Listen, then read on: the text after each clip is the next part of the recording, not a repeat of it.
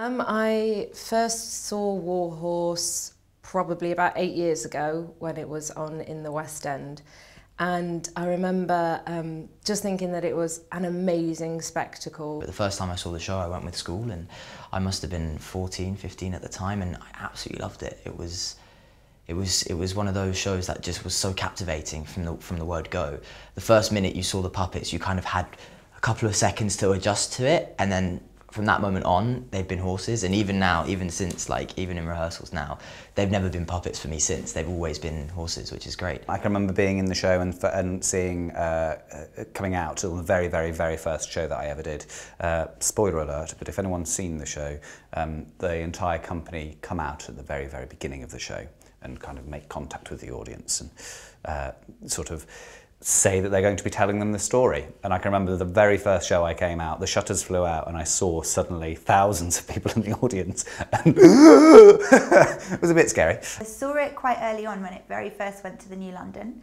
Um, and I sat really far back actually. It was wonderful to kind of get that perspective. And I went with a couple of other friends and we had a really wonderful time. And then years later, in its final week in London, my mum had never seen it and was desperate. So for her birthday, we queued up for day seats and, um, and went to see it and we sat in the very front row and it was such a different experience. And I mean it was just it was absolutely awesome you know? It was being a part of something like that and watching something like that so close up was absolutely thrilling. My I remember my mother didn't want to go and see it because she she thought she'd get very upset about the horses. But actually I knew my dad would lo love it so I did get them tickets and she oh, she was blown away by it as well she did cry, of course, but yeah, it, it was it was nice. So I'm glad they're going to come and see it again on her 90th birthday. So.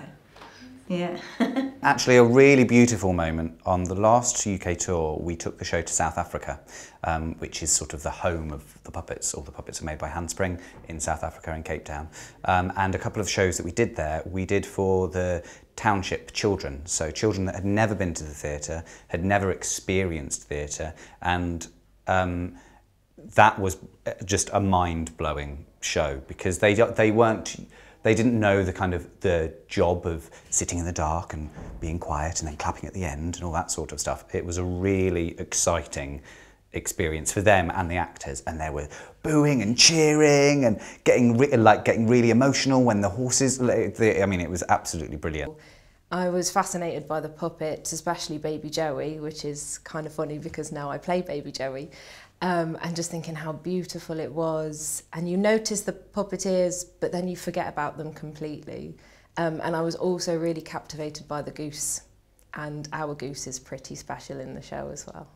And I, I, I, I kind of, I love history as well. So the kind of, the history theme to it, you know, the First World War is, is something that really interests me. Um, and so I think when I first read the book and first saw the play, you know, that really stuck, stuck out to me as well. Um, relationship with horses, but also the, the, the period it was set and what it was trying to say about that period. It's great that it's lasted this long.